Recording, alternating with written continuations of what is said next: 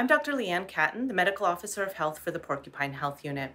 I'm doing a quick check-in today after our first week back at school, which we know has been extremely challenging and looks very different this year than any other. The best way to keep COVID-19 out of schools is for parents to do a complete screen of all school-aged children in your home every morning before school.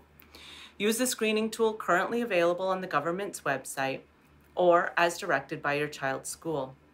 These screening tools ask about international travel, contact with a potentially positive COVID-19 case, and they ask about symptoms, which includes not only cough, shortness of breath, or fever, but also other more atypical symptoms such as a change in taste or smell, and even gastrointestinal symptoms like vomiting or diarrhea. Please again refer to the tool for a complete list of symptoms in order to do your screen daily. If the tool tells you to seek testing, Please notify the school that your children will be staying home that day. Tell your healthcare provider or an assessment center to seek testing. Have your child stay home and self-isolate.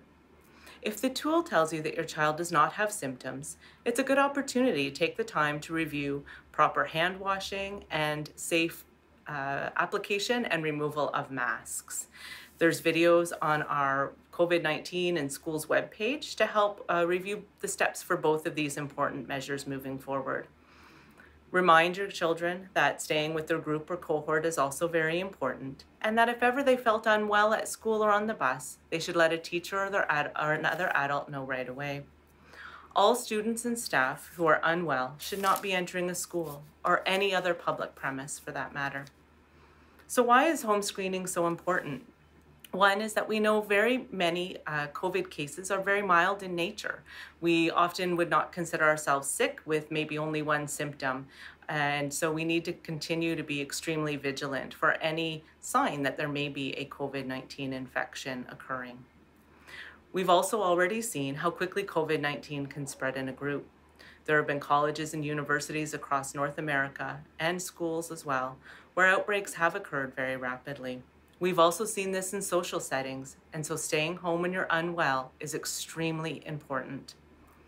If symptomatic people aren't able to enter the school environment, then the chances of your child contracting COVID-19 and bringing it home are dramatically reduced.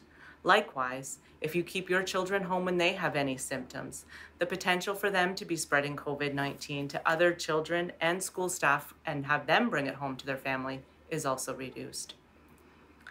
It is a responsibility that we all have every day in every setting to make sure that we stay home if we have any symptoms that may be due to COVID-19. We recognize that deciding on whether or not to send your children to school this year has been a very big and heavy decision. It's been very complicated and challenging, and we know that different families have made different decisions, and it may be more challenging to weigh the options equally and we may even see different decisions for different children within a family. We will continue to work with all families, schools, and community members for reducing the risk for COVID-19 in our school environments moving forward. For those community members without a direct connection to schools, we urge you to also check out the screening tool regularly. And if ever you have any symptoms, please do not go to work. Do not go to get groceries and do not go to a barbecue with family or friends. Stay home, get isolated, gal, call to get tested, and do not spread COVID-19.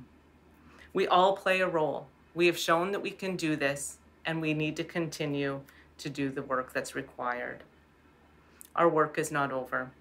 Stay well, stay kind. Thank you. Merci. Miigwech.